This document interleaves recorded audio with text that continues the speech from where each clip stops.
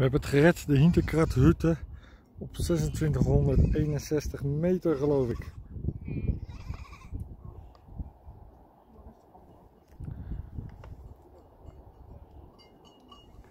Uitzicht op kletsers, Zulde skigebied.